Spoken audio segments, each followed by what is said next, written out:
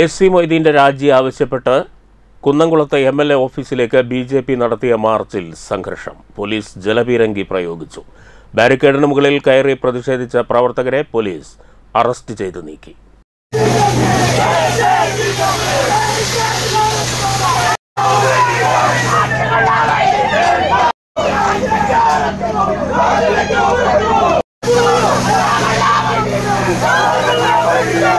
Karuvannur bank തട്ടിപ്പിൽ ആരോപണ വിധേയനായ എ സി മൊയ്തീൻ രാജിവെക്കണമെന്നാവശ്യപ്പെട്ടാണ് ബി ജെ പി മാർച്ച് നടത്തിയത്.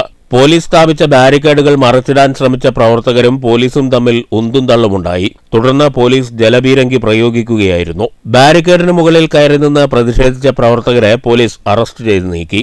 ബി ജെ പി ജില്ലാ president K K Aneesh Kumar പ്രതിഷേധം ഉദ്ഘാടനം ചെയ്തു. ഇ പി ജയരാജന്റെയും എ സി മൊയ്തീന്റെയും ബിനാമിയാണ് മുഖ്യപ്രതി സതീഷ് കുമാർ എന്ന് അനീഷ് കുമാർ ആരോപിച്ചു. News bureau Thrissur.